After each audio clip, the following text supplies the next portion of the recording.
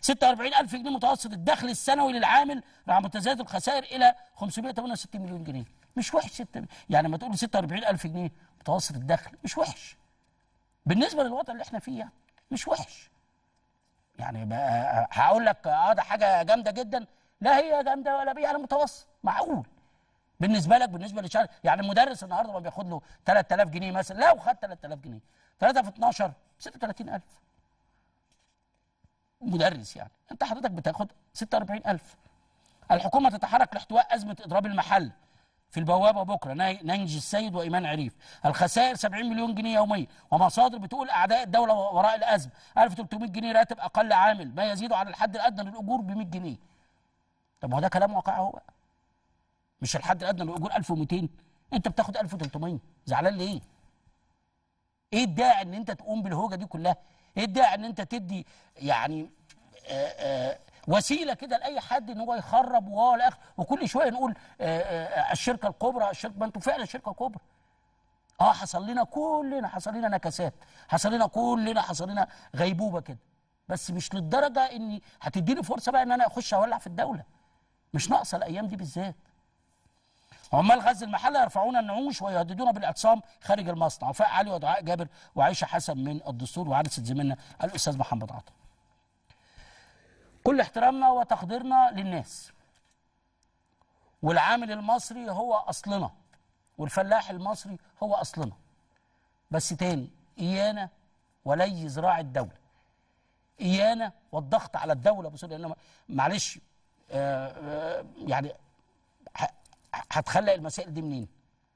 أنا عايز فلوس في الحتة دي هعمل فيها إيه؟ هجيبها منين؟ هسويها إزاي؟ ه... ه... آه، المورد اللي عنده ضعيف هجيب منه إزاي؟ زي ما بقول لحضراتكم تاني والله العظيم والله العظيم والله العظيم ما في ما اللي هم موجودين في الحديد والصلب بس ولا اللي موجودين في شركة بتاعه الص- الصباغة بس ولا اللي موجودين في شركة آه، المحلة الكبرى ولا اللي موجودين في شركات كفر الزيات ولا اللي موجودين في شركات السكر ولا اللي. والله العظيم على الكل على الكل. كل الناس تعبانة. بس في حاجة اسمها يعني إيه؟ صبر على الدولة شوية. أنا مش بكلمك على الصبر على الحكام أو الصبر على الوزراء أو الصبر على المذيعين أو الصبر لا ما بكلمكش على أشخاص. أنا بتكلم على الصبر على الدولة. اصبر على الدولة شوية. استنى. لحد ما تشوف الدنيا ماشية إزاي. لأن الوضع دلوقتي آه زي ما أنتم شايفين. آه يعني ما, ما فيش. يعني تعالى لي. بص الخبر ده. داعش يفجر نفسه على الحدود المصرية الفلسطينية. كتائب القسام تعلن مقتل قيادي ميداني إثر الانفجار. الخبر ده خطير جدا. إحباط محاولة داعشي التسلل إلى سيناء وتفجير نقطة أمنية لحماس. الواد لما ما عرفش يطلع من من الحدود مع حماس لما ما عرفش يطلع عمل إيه؟ راح مفجر نفسه. فمات ومات معاه واحد. طب لو الواد ده لما كانش فجر نفسه على الحدود كان عمل إيه؟ كان دخل. مش الناس اللي بتيجي تقول لك أنتوا بتتكلموا على حماس ليه؟ طب طب اهو إحباط محاولة داعشي أو داعش التسلل إلى سيناء وتفجير نقطة أمنية لحماس. وقال لك ده عشان في تقارب ما بين حماس وما بين الدولة المصرية. ولنفترض ده موجود أو مش موجود. ده حدود. تخيلوا بقى ده حضرتك ده اللي ده اللي بيضبط. في كتير جدا بيخشوا من غير ما يضبطوا. وكتير جدا زعلانين بيقول لك أنتوا بتعملوا الحدود وبتعملوا بتقفلوا المعابر وبتقفلوا مش عارف إيه وبتعملوا إيه وبتسووا إيه وهو الآخر ما هو ده إرهاب يا جدعان. ولا ده الدولة المصرية الأمن المصري ولا راح قال للواد تعالى و... وإحنا عايزين نخليك داعشي وتحط على الأمن وتخش وتعمل وبتاع. الحاجات كلها حلقات كلها مرتبطة ببعضيها. مش تخويف ولا فزاعه لا. بس تاني أقول لحضراتكم ال... الوضع في ال... في الدولة المصرية دلوقتي في يعني شوية عكوسات لا هي. بمزاجنا ولا بغصب عننا. الوضع العالمي دلوقتي كله مشتبك ببعضيه. و- و- وبنحاول بنحاول بقدر الإمكان. حضرتك دلوقتي معلش بتاخد 10 جنيه معلش رستق نفسك كده على 10 جنيه. حضرتك بتاخد 20 جنيه رستق نفسك على 20 جنيه. ما عادش والله العظيم ما عاد. اللي يقول لك ان أنا معايا استراتيجي وبتاع وكلام ده بقى كلام من ده بقى حاجة من من الشهرة كده. يعني إن واحد دلوقتي ماشي زي 2011 و2012 و2013 لا. وكلنا كل أي واحد تتخيله. أنا بكلمك على الطبقة بتاعتنا الطبقة اللي هي الطبقة المتوسطة وما تحت المتوسطة. أي واحد من دول اعرف إن هو بيزنق نفسه قدر الإمكان عشان الأمور تمشي.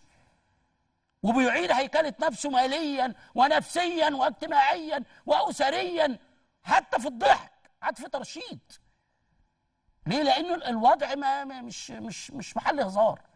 كل واحد مننا دلوقتي داخل ومدارس وبتاع وكلام ده شايف حضرتك هتدفع كذا وأنا شايف هدفع كذا وأنا هعمل كذا وأنا هسوي كذا وأنا هروح كده وأنا هاجي كده وأنا هاجي. يا سيدي طب أنت دخلك كام؟ 10 جنيه. على الأقل اعمل حسابك على 10 جنيه. مفيش مشكلة. لحد ما الأمور تتعدل نشوف هتتعدل إزاي؟ ولا رايحه فين ولا جاية منين؟ بدل ما ازنق نفسي والاقي نفسي يوم 15 في الشهر أنا مش مش ملاحق. مش في قنوات هنا في في المدينة بتقفل؟ في قنوات في في في قناة قافلة. وفي عمال فيها وفي مذيعين فيها وفي فنيين فيها. بياكلوا منين دول؟ ولا بيشربوا منين؟ ولا بيعملوا إيه؟ وبقى لهم خمس شهور وست شهور ما قبضوش من القناة اللي كانوا فيها؟ مفيش داعي لاسم القناة يعني؟ والقناه دي كانت ملء السمع والبصر. حد انتبه لهم؟ حد مثلا قال لهم طب تعالوا. حد ولو راحوا القناة تانية هيلاقي القناة التانية مقفولة عليهم. ولو راحوا القناه التالتة هيلاقي القناة التالتة مقفولة عليهم. ولو راح مش دي جوه مدينة الإنتاج الإعلامي. مش حضراتكم بتسمعوا عن مذيعين بيتأخروا شهرين وثلاثه وأربعة ما بيقبضوش؟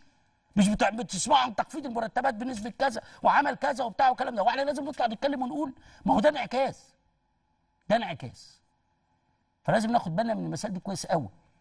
ما ننجرفش في فكرة آه ده أنا ليا مطالب فأطلع اضرب يالا الدولة ولع في الدولة واعمل مش عارف إيه وبتاع. لا مش مطلوبة.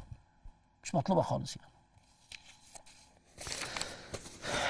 امبارح إحنا كنا بنتكلم على كانت في آه، آه، مواطنة اتكلمت على موضوع إن لقت آه، مقرمشات في بتاع دي اسمها حشرة في المقرمشات. بعض الناس الحقيقة اتصلوا بينا النهارده ومش مش يمكن واحد أو اثنين أو ثلاثة ده كتير يعني. وبعدين لما جينا هنا ال- القناة يعني جابوا لنا الحاجات اللي الناس حتى معلقة عليها على القناة على الموقع وكده. فكانوا بيسألوا بيقولوا هو ممكن الحشرة لما تتغلي في الزيت المغلي وبدرجات حرارة عالية جدا تستمر جوه البتاع يعني إزاي المواطنة فتحت الكيس ولقت الحشرة جوه والبطاطس اتقلت واتسلقت واتعملت وبتاع ولسه الحشرة موجودة جوه بتمشي. فالناس بتسأل هل ده يعني يعقل إنه يبقى في حشرة موجودة في هذا الأمر أو في في, في, في الكيس؟ بعد الكيس ما اتعمل فيه البط البطاطس من جوه واتقفل وبيتباع. ممكن يكون عيب تخزين مش عيب صناعة. دي برضو سؤال في هذا الإطار. والمرة اللي فاتت أنتوا كنا جبنا النمل والبتاع والكلام من ده لك ممكن يكون النمل برضو من من من سوء التخزين اخترق. إحنا مش بندافع عن حد بس هو الموضوع برضو آه، عايز اعمال للعقل شوية يعني آه، الحشرة ت- تخش الكيس بعد ما تطلع ال- المنتج ده من المصنع الحشرة اديناها في الكيس واديناها صاحيه والمنتج يتقفل ويتباع ويت- ويتنقل من هنا لهنا ولسه الحشرة جواه. ده سؤال منطقي الحقيقة يعني.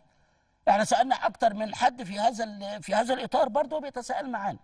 دي محتاجة إنه ال- الجهاز حماية المستهلك خد الأمر امبارح وإن شاء الله يطلع بنتيجة في هذا الإطار. لكن السؤال برضه إنه آه، آه، ممكن تكون المسألة الحشرة دي داخلة بطريقة مش من التصنيع ممكن تكون داخلة بطريقة تانية. وبالتالي التحميل على فكرة الشركة نفسها اللي إحنا عرضناها امبارح أو ان إحنا آه، زجينا بيها في أمر ما لا إحنا بعاد خالص عن المسألة دي. إحنا كنا بنطرح فكرة جرأة المواطن لما يلاقي فيه إشكالية وبالتالي بيلجأ إلى آه، الجهاز المعني وهي لجأت إلى الجهاز بتاع حماية المستهلك وهو ان شاء الله يطلع لنا تقرير في هذا الإطار. لكن إحنا لا نشهر بأحد ولا ناتي على أحد ولا إحنا جايين نضرب في حد ولا إحنا جايين نعمل في حد لا. كل منتج وليه احترامه وتقديره وبالتالي المسائل اللي زي دي هي مجرد عرض بس وليس إن إحنا بن بنعرض بحد أو بنسيء لحد أو بإن إحنا بن بن بنمشي مع حد ضد حد أو منتج ضد منتج لا. إحنا مالناش علاقة بالكلام ده خالص يعني.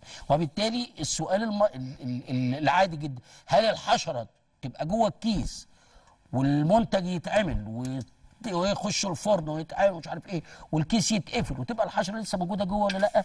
ده الكلام اللي آه، يعني بعض ال- المشاهدين آه، آه، اتكلموا فيه فقلت برضو إيه أوصله لحضراتكم في هذا الإطار. خليني آخد فاصل وأرجع لحضراتكم.